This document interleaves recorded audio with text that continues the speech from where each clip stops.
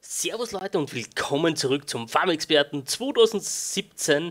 Ja, im letzten Part vom Augspiel einmal. Schauen wir mal, ob wir danach noch was weitermachen. Kommt darauf an, wie er bei euch ankommt, wie ich vielleicht einen Multiplayer-Partner finde oder sonst irgendwas. Ich habe euch versprochen, wir schauen noch einmal ganz kurz in die Lehrbücher hinein. Wir haben das hier gemacht, wir haben das hier gemacht. Halt, wir haben, wir haben bei schwierigen Fahrverhältnissen, wir haben bei gegrubbert und gepflügt, wir haben nicht gesät, wir haben nicht geerntet, wir haben nicht Ballen gepresst, wir haben keine Setzlinge von Himbeeren angesetzt, aber wir haben Himbeeren geerntet.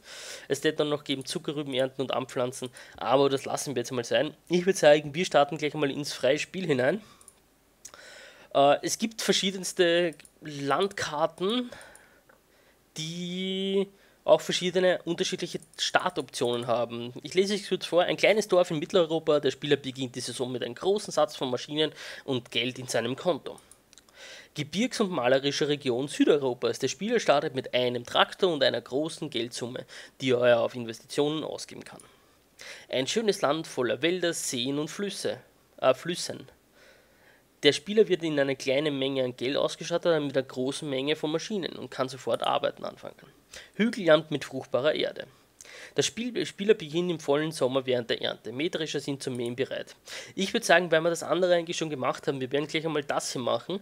Wir beginnen im Sommer und ja, da legen wir gleich einmal los. Es ist so, ich will das heute ein bisschen so als kurzen Einblick noch einmal ein bisschen Mähdreschen vielleicht so anschauen. Äh, ein bisschen Fazit machen am Schluss nachher des Partes. Äh, meine Grafikkarte ist am Rödeln, die ist, die ist auf 100% ausgelastet bei dem Spiel. Ich glaube auch, dass das Spiel ein bisschen da in dem Bezug ein bisschen schlecht programmiert ist, muss man ehrlich sagen.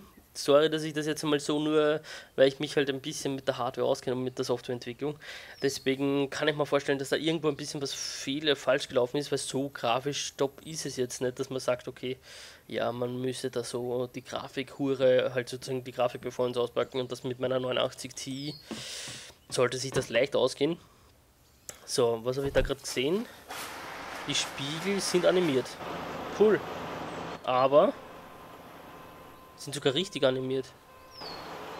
Schauen zwar ein bisschen komisch aus, weil das sozusagen weiß ist, also sozusagen nicht Silber ist, sondern ja, so gelb eher. Aber sie sind animiert. Und hier hat man auch Tempomatstufen. Finde ich cool. So, verbindet es mit P. Das ist auch so ein bisschen kompliziert bei dem Spiel immer, dass man verschiedenste Kombin halt sozusagen Tasten hat zum Verbinden. Ähm, Plattform nach oben, nach unten. Ich habe keine Ahnung, was diese Taste macht, die V-Taste. Das war jetzt vielleicht falsch. So, einmal einschalten und mit der R-Taste senken wir das Ganze. Äh, Tempomatstufe 2 zum Sammeln haben wir eingeschalten. Dadurch haben wir auch ein bisschen zu schnell am Anfang begonnen. Keine Einzugsanimation. Strohschwarz schaut nicht besonders aus. Ich schaue mir jetzt die Innenansicht an. Ja, keine Ahnung. Es ist schwer zu sagen bei so einem Spiel. Halt, ich, ich will es jetzt nicht in, das, in den Himmel loben, aber ich will es aber nicht auch nicht in den sozusagen in den Abgrund hineinhauen. Es ist halt, wenn man die Simulatoren kennt im, im Landwirtschaftsbereich, gibt es einen großen zurzeit. Es gibt ein paar, die wollen auch groß werden, wie Pure Farming und Cattle and Crops. Aber der Großteil, was halt sonst rausgekommen ist, ist eher so, wie soll man so sagen, Shit-Spiel, Schrottspiel, keine Ahnung, nein. Also es ist jetzt spielbar, aber es ist jetzt sozusagen von der Umsetzung her den anderen einfach so weit unterlegen, dass man sagen muss, man alleine das. So, bleibst du stehen bitte. Äh, alleine das Senken vom Schneidwerk hat man jetzt gerade wieder gesehen. Das ruckelt und hakelt und, und komisch. Äh, ich habe 50 FPS, finde ich jetzt nicht einmal so wenig, sozusagen so, also dass ich, dass ich sage, okay, ich habe Einbrüche oder sonst irgendwas. Was ich cool wieder finde, dass sich das komplette Feld bewegt. Dass sich die Bäume bewegen. Okay, es bewegt sich alles in eine Richtung, dass sich die Bäume bewegen, die Idee ist, das schaut halt, das macht diese, die ganze Umwelt hier ein bisschen leb, äh, lebender. Das gibt es halt beim LS nicht so extrem. Aber so in echt, wenn's, wenn, wenn, wenn das Befehl so bewegt sich, dann haben wir Orkanstärke so ungefähr. Ja, das ist schon extrem, wie sie sich bewegt. Äh, der Boden tötet das Spiel ein bisschen, weil dem Boden äh, verschiedenste Sachen einfach zustande kommen, die, so jetzt seht ihr es, ruckelt beim Runterfahren so richtig, äh, die einfach bei einem nicht ähm, ja, dynamischen Boden nicht passieren. Das Problem ist nämlich, wenn du so einen Boden hast, ist, dass du, sobald du eine Unebenheit hast und die Maschine dann nicht sozusagen eigentlich die Unebenheit ausdrückt, dass die Maschinen springen anfängt. Und das hatten wir im, in den ersten, im ersten Part, glaube ich, ja genau, beim Flügen und beim. Ah nein, bei dem, stimmt schon, beim ersten Part, wo wir die äh, ja, das Wasserdingsbums getestet haben. Da waren halt ein paar Sachen, das ist ein bisschen mühsam, beziehungsweise ist nicht so gegangen. Man sieht auch hier wieder keine beim Korn dann keine Liter, wie viel Ertrag wir haben oder sonst irgendwas. Man sieht, okay, ja, wir ernten das, wir haben es gesammelt, aber wie viel das ist, steht jetzt nicht dabei. Was ich ein bisschen schade finde, weil in echt hast du auch Tonnen anzeigen und wie viel du geerntet hast und sonst irgendwas. So, jetzt wollte ich noch kurz mal schauen, haben wir da herinnen eine? Nein, haben wir auch nicht. Wir haben da auch nur einen Viel-Status. Wir haben aber einen GPS-Kurs, aber den können wir nicht benutzen, schätze ich einmal. So, kurz wieder heben. Und die Maschinen sind verdammt laut. Weil ich habe es eh leise eingestellt. Aber ja, es geht. Das Spiel wird bei mir sicher keinen längeren Platz auf der Alm Herzen haben, muss ich ehrlich sagen. Ich schaue mal, heraus ist angenehmer zum Fahren als Innenansicht, das ist auch so. Äh, wenn wer Multiplayer spielen will, würde ich es vielleicht noch mal so 5 bis 10 Parts ausprobieren. Aber mehr, weiß ich nicht. Schwer zu sagen. Ah, jetzt weiß ich, was das für ein Sound war. Das ist der Strohhäcksler. Den kann ich ein- und ausschalten mit der V-Taste. Glaube ich zumindest. Nein, das ist was anderes. Keine Ahnung, was mit der V-Taste zu machen ist.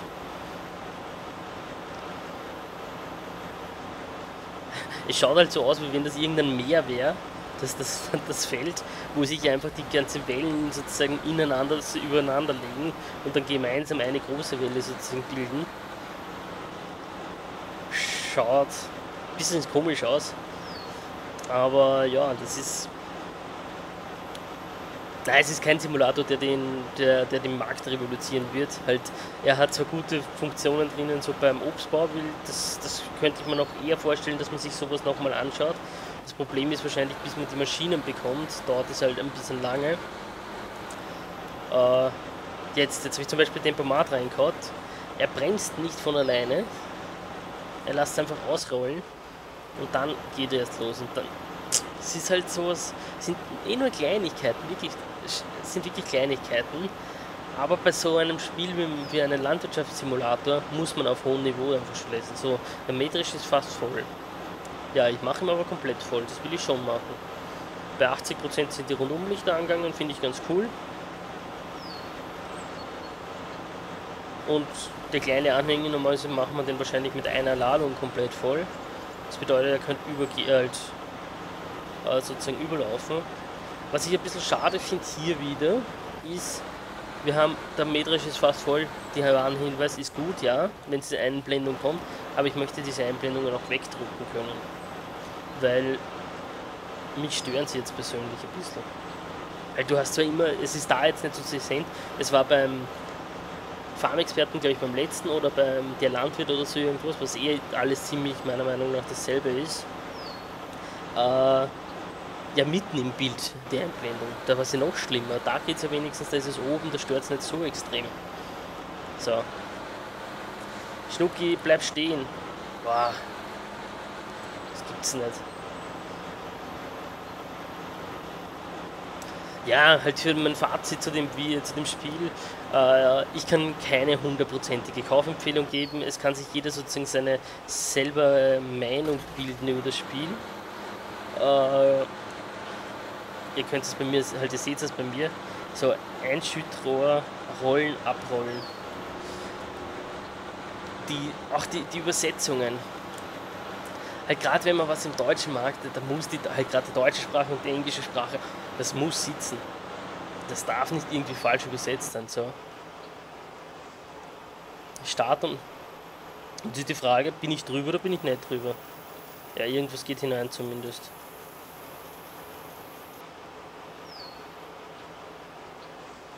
Und es dürfte so sein, dass ich relativ viel reinbekomme in den Anhänger, oder?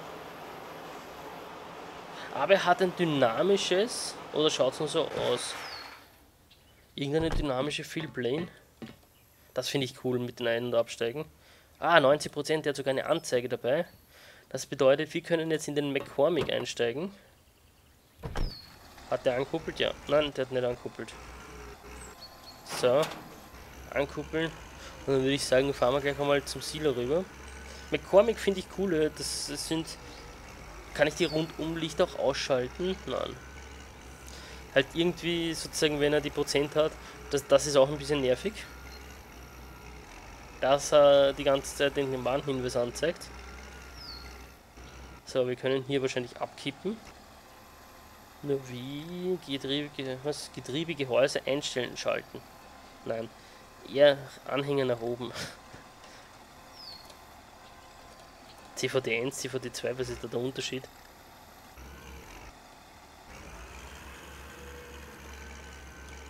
Also der eine geht. Also warte mal, wir sollten den Anhänger runtergeben wieder. Der CVD 1 geht, wie viel? 12, äh, 27 km/h und der CVD 2. Okay, da fahren wir dann 40 km/h. Bist du deppert. Da hast aber keine Kontrolle mehr über das Ding. Na, wir können aber mit CVD 1 auch das fahren. Jetzt, jetzt haben wir genau wieder das Problem, was wir schon einmal beim Spiel gehabt haben. Drehschimmel. Wir werden es jetzt gleich sehen. Wir beschleunigen jetzt kurz einmal. Wir testen einfach jetzt noch die letzten paar Minuten ein bisschen was. Wir sind jetzt gefahren und haben jetzt eine Geschwindigkeit erreicht. Und ihr seht, was ich meine, glaube. Das ist das, wenn, wenn einfach vorne die Anhängerkupplung nicht zusammenpasst. Es wird immer mehr. Und er trägt, er trägt richtig den Traktor von der Straße. Weil er richtig runterschüttelt. Ich will nicht wissen, ob es unterschiedlich ist, wenn er jetzt voll ist. Wir haben auch den, zum Beispiel, boah, das ist wirklich schwierig zu fahren. Dadurch, dass das so herumwackelt. Und man hat. Oh, oh, oh, oh, das war auch heftig. Schaut sich das noch einmal an. Schaut sich die Vorderachse vom Anhänger an. Wenn ich jetzt bremse, die geht nach hinten. Halt, es ist da keine richtige Verbindung da. Es ist in echt ja auch nicht so die Mörderverbindung, aber nicht so wackelig. Halt normalerweise da vorne ist wackelig, aber ja. Halt Kaufempfehlung gibt es von mir keine. Ich werde das Spiel vielleicht im Multiplayer mit dem anderen, glaube ich aber auch nicht. Äh, es gibt einfach zu gute Konkurrenten am Markt. Äh, ich wollte sich einfach zeigen, ich wollte ein bisschen, dass ihr ein paar auch mal was wieder was Neues sieht. So, noch einmal. Solche Fehler dürfen nicht passieren in einem Spiel. Solche Bodenwellen auf eine Brücke hinauf. War da ist jetzt wirklich so, da ist wirklich so eine Mörderbodenwelle. Da ist die Anpassung schlecht passiert. Und es ist halt auch weniger Klärung da. Ich weiß nicht, welche Felder gehören mir, welche gehören wir nicht. Äh, natürlich haben wir die Möglichkeit auf der M-Taste das nachzulesen. Aber es ist halt. Ja. Schaut sich das an. So, schauen wir sich nochmal die Map, die ganzen Sachen an. Mechanik. Da können wir die Geschwindigkeit und so weiter einstellen, die Spulen mit den äh, in den Monaten, das was wir eh von den anderen Spielen schon kennen, die Tiere, ist im Endeffekt auch wieder dasselbe, so wie wir schon kennen mit den Kaufen und dann halt, da verdienen wir ordentlich Geld mit dem. Hier können wir verschiedenste Gebäude, was können wir dann Überdachung der Fahrzeuge, Haustankstelle, Autobahnanlage, Gehege für Hornvieh, Gehege, halt Kuhstall, Gehege für Vögel, Pferdestall und die Wetterstation, die kennen wir auch. Das mit den Punkten kennen wir eigentlich auch. Dadurch kriegen wir mehr Ertrag. Lernprogramm ist eigentlich nur eine Erklärung und dann haben wir hier die Karte. Ich kann aber nicht sagen, ob alle Felder mir gehören. Aktuelle Besitzer NA, NA, NA, NA, NA. So, wir sind hier im Hof. Ah, oh ja, man sieht die, welche einem gehören. Die vier gehören uns. Wir können Mitarbeiter einstellen, kannst du nur von zu Hause aus beschäftigen, das wissen wir auch. Und die Maschinen haben wir. Da haben wir noch den Dreschen noch einmal. Jetzt will ich ganz kurz was ausprobieren, wenn wir sagen, wir lassen einen Mitarbeiter beschäftigen. Das könnte man eigentlich, müsste man von hier aus kennen. Hey, da gibt es einen Vogel, fliegt der? Das ist cool. Das sind sie da wieder so kleine Gimmicks, die wieder cool sind. So, wenn ich da jetzt sage, da, Mitarbeiter, zack, der soll mir Sammeln der Ernte auf dem Feld. So, da drüben ist er schon. Und er fängt auch an und man sieht ihm auch. Das ist halt cool bei den Spielen wirklich gemacht. Äh, du hast halt nur eckige Felder, weil halt der Helfer nicht wirklich mehr kann. Siehst aber auch gleich auf der Map eine Veränderung. Und der fährt natürlich gleich mit dem Mörder-Drescher, was, halt, was wahrscheinlich im Spiel als größte Sache was gibt. Ich weiß nicht, ob das Spiel modbar ist, das kann ich wirklich nicht sagen. Äh, Habe ich mich nicht informiert auch. Ich würde aber sagen, mit diesen fünf Parts war es jetzt einmal vom Farmexperten 2017. Äh, könnt ihr mir in die Kommentare schreiben. Ich bin gespannt, was wir, wie, euch ankom wie ihr ankommt. Das finden Hupfen finde ich auch geil noch. Äh, wie er ankommt bei euch und ob ihr noch mehr sehen wollt davon, weil dann würde ich schon noch mal ein Spiel starten, aber dann vielleicht auch noch versuchen, irgendwem anderen dazu zu holen, dass wir gemeinsam irgendeine Multiplayer-Action machen können, das auch ein bisschen mehr nebenbei außer das Spiel zum Reden gibt. Und wir sehen uns dann entweder in, in einem kleinen Revival vom Farm Experten 2017, dass wir den noch einmal anfangen, oder in einem anderen Let's Play oder Let's Test oder was auch immer auch gespielt was es halt bei mir am Kanal gibt. Oder in letzter Zeit einfach in geilen Streams. Bis dann. Ciao.